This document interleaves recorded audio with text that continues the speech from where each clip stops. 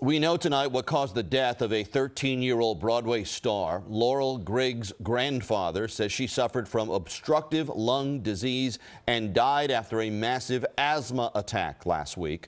Griggs made her Broadway debut at the age of six alongside Scarlett Johansson in Cat on a Hot Tin Roof, but she's best known for a 17-month run as Ivanka in Once, the musical. She's always had this crazy disease but she was able to handle it with her medications. Then all of a sudden, everything went haywire. She's a beautiful, amazing person. Um, she was like, like the brightest light um, that anybody could ever have in their lives. A remembrance service was held this afternoon in Chelsea to celebrate Laurel's life.